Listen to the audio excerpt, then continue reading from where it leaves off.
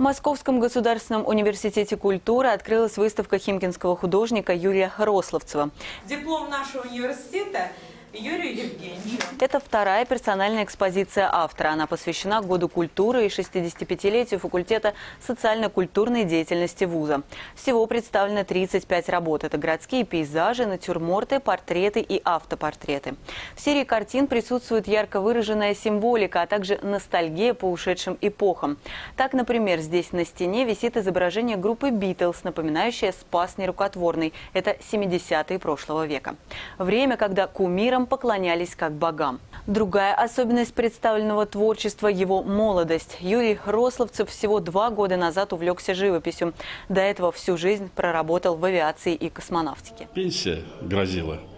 Больше свободного времени. Э, Супруга, по-видимому, испугалась, что я буду сидеть дома и кряхтеть.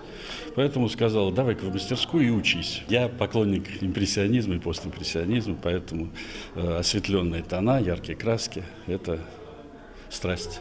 А зам живописи Рословцева научил его друг и родственник Виктор Державин. Я только поддержал. Я, я считаю, что э, человек, который выходит на пенсию и занимается живописью, это делает подвиг. И, он, и когда я увидел, с, какой, с каким старанием он это все делает и как много он это делает, то э, он меня сам подбивает на то, чтобы я сидел и работал. В нем есть какое-то свое видение, есть свое понимание живописи. Особенно следует отметить копии произведений знаменитых художников. Здесь печальный Ван Гог, романтичный Мане, Модельяни и Дерен. Некоторые из них, имеются в виду оригинальные полотна, навсегда канули в лету. Их уничтожили в ходе боевых конфликтов 20 века. Ван Гог – это мое солнце.